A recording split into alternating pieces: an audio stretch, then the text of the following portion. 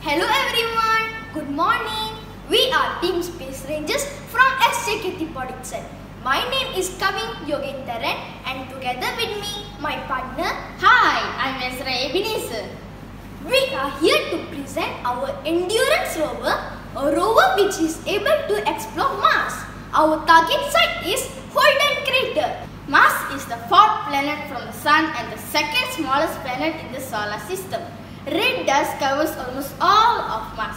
Exploration of Mars is ongoing and there are potential signs of life. Rovers are able to help human exploration in making Mars the next home. The aim of the project is to detect signs of water and environment imaging. With the presence of H2O, we can extract oxygen which is vital for humans. This is our endurance which is built for the mission mentioned just now. It has six wheels which are designed to be used at slow speeds. It is capable of overcoming obstacles.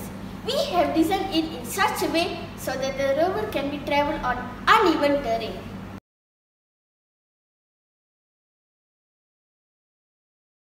There are four components in the rover.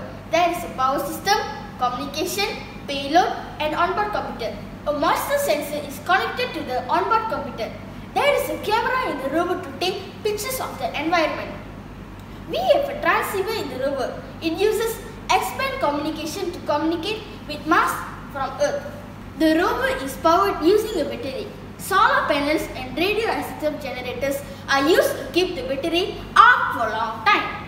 Apart from this, we have built a copter called Clarity which comes out from the rover to take pictures of the Holden crater. The copter will be able to fly for 25 minutes before coming back to the rover to charge for further exploration.